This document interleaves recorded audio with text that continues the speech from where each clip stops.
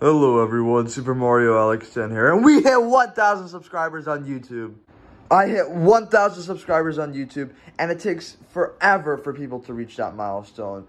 I want to thank you guys for helping me reach my goal.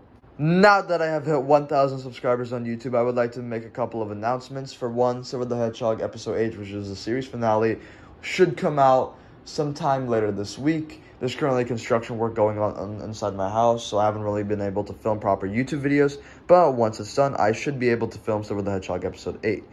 Uh, secondly, Mario and Sonic in Space Season 2 and Mario in the Multiverse Season 2 should come out later this year, and so should the Metal Sonic Horror movie and the Super Mario Alex movie 2, um, if things go well. So, if things do not go well, then we could potentially see a delay for the Mario Multi- Multiverse Season 2 and Super Mario Alex and the movie 2 to 2024, but uh, SMJ5 and I are trying our best to keep Mario in the Multiverse Season 2 and Super Mario Alex the Movie 2 on its original release date, which is uh, later this year.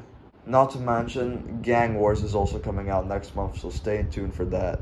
All in all, I would like to thank you so much for 1,000 subscribers. It took forever for me to reach this milestone, and there should be a special about it, maybe today or tomorrow. Um, we'll have to see. But thank you so much for 1,000 subscribers. I, I love you guys.